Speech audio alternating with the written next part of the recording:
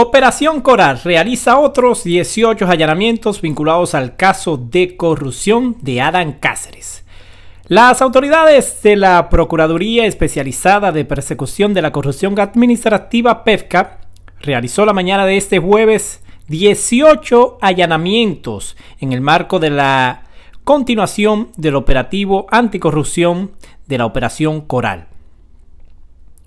De acuerdo con la información oficial, los allanamientos se proceden en el Distrito Nacional, la provincia Santo Domingo, La Vega, Monteplata y San Francisco de Macorís.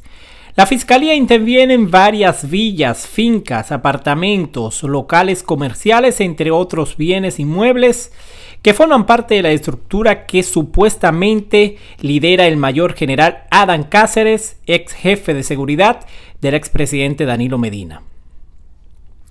Los allanamientos se están realizando para seguir recolectando evidencia e incautar los bienes que alegadamente fueron utilizados para el lavado de dinero defraudado al Estado dominicano por la red de corrupción denominada Coral.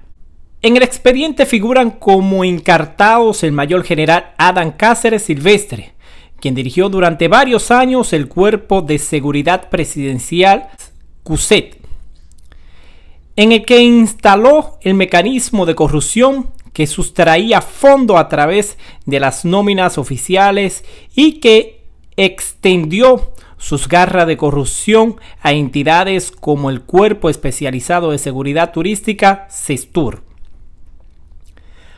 Por ese caso están en prisión, además de Cáceres, Rosy Guzmán Sánchez, la pastora, quien según el Ministerio Público se valió de sus actividades religiosas para desarrollar actividades ilícitas que afectaron al Estado y a los fondos de los contribuyentes.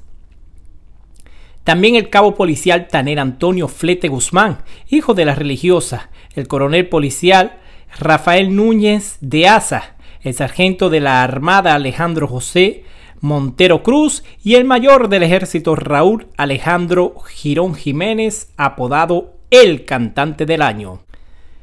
La información está en desarrollo. A medida que vayan aconteciendo los hechos, vamos a seguir difundiéndolo aquí en el canal de William de Jesús. Si todavía no se ha registrado, por favor, suscríbase al canal, active la campanita, porque aquí continuamos siempre a un solo clic de distancia caminando al compás de la información.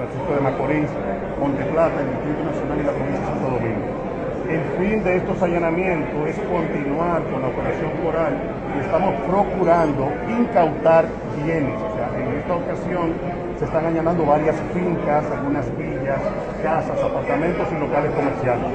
Como habíamos dicho, la cantidad de bienes que ha manejado esta red de corrupción es sumamente cuantiosa. Y esta es una segunda ola de incautaciones que estamos haciendo para llegar hasta el último peso que se hayan robado del erario. Esa es la razón por la que estamos haciendo estos allanamientos y en la medida de que la investigación continúe y, lleguemos a otras investigaciones, seguiremos operando en esta operación coral. ¿La persona, la persona apresada? Hay personas apresadas. ¿De refiere y si hay personas apresadas? ¿Hay personas apresadas? Hasta el momento estamos incautando bienes recolectando evidencia en, los allanamientos están todavía en progreso. A medida de que los allanamientos se cierren, entonces podemos estar en condición de saber si por alguna razón se ha realizado arresto o no.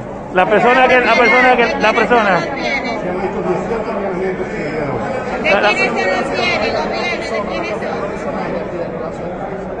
En la medida de que termine el operativo estaremos en